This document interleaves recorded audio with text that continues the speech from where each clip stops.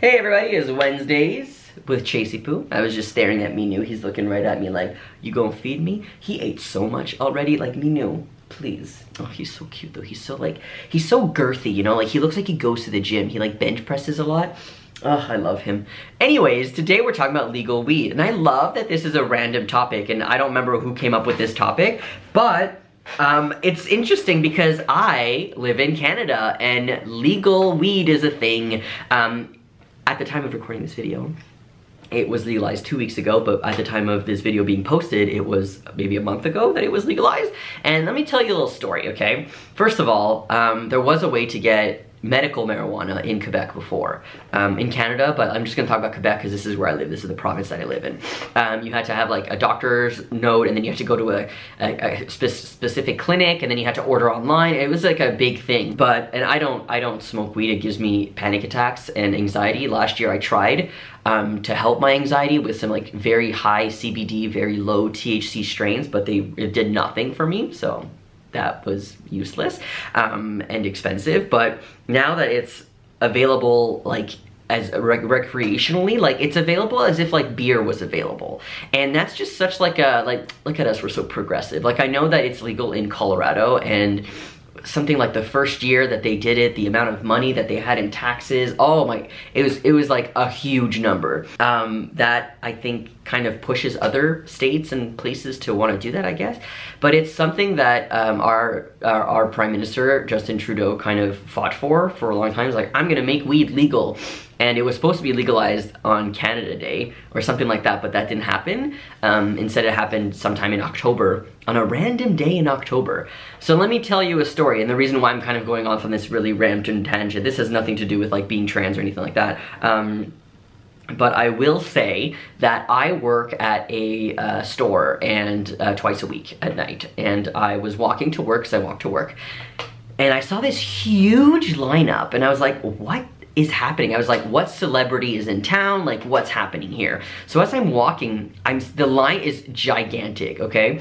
And I'm wondering what's going on. And then I walk by and then I see that it is a new store that had just opened the day before and it is where you can go and you can literally go buy weed at a store and it's government um, regulated.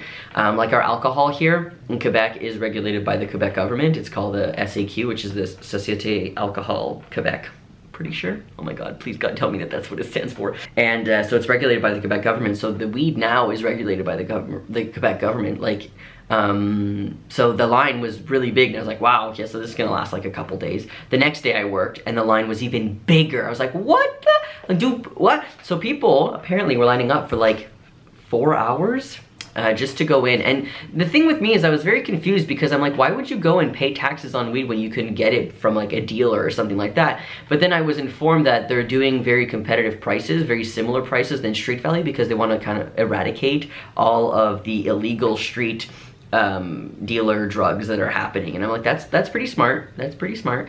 Um, so anyways, the week goes by and I keep hearing that, you know, a lot of people are going to the weed store and then I heard that, um, you know, the, the, the, lineups were still very, very long. So the next week I, I'm walking to work, the line, again, gigantic.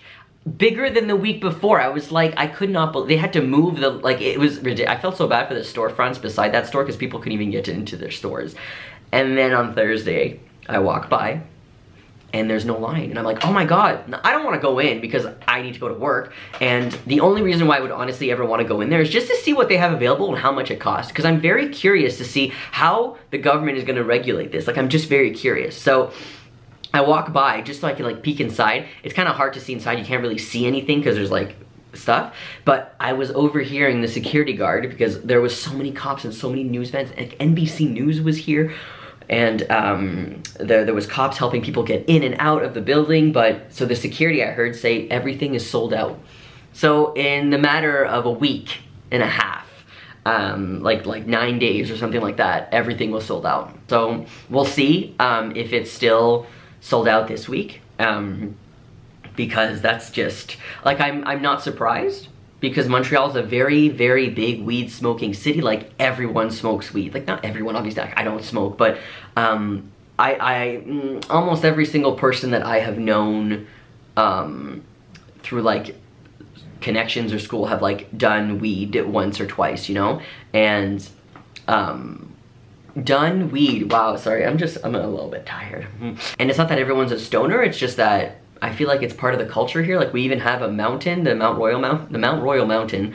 On Sundays, there's the tam tams where people go with their drums and everyone just kind of smokes weed on the mountain and that no one ever gets like bad for that. Like it's okay. Um, so it's kind of culturally part of this city, I find, for a lot of people who are younger. I don't know. Uh, so now that it's recreational and it's legal, it's very interesting to see what's gonna happen. Like, we even got an email from the university saying that you can't smoke weed on, on, on, on campus, and we just got a letter in our apartment building saying you can't smoke weed in the apartment, because um, it's kind of like you're, you're because it's legal, but it's not like, you know, like cigarettes in Quebec, you kind of have to smoke it, I think, like 9 or 10 feet away from a door or something like that of a building and then like you can't really drink outside.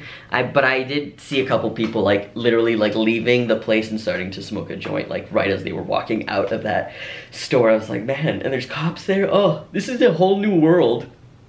I never thought that this would be a thing. I'm just gonna say that it, I think that it is a very good thing because I think it's gonna be way easier for people who need it for medical reasons to access it. Because it was very hard, very gatekeepy to get an appointment and it was very expensive um, to go through this clinic and to get a prescription and to get a diagnosis and to get like to buy it online. Like it was very expensive. So I feel like this would be so much better for people who need it um, for like anxiety or for chronic illness, chronic pain or migraines, anything like that you know like you would actually be able to access it. So um, that's why I'm curious to go in because I'm curious to know if the people who work there know a lot about the strains and how many different strains they have and stuff like that. Because even though I don't smoke it and I don't do it, I know a little bit about it because I know that some people really need it and it really helps them. So anyways, that's my long ass video about legal weed in Canada. Have a great week. Bye.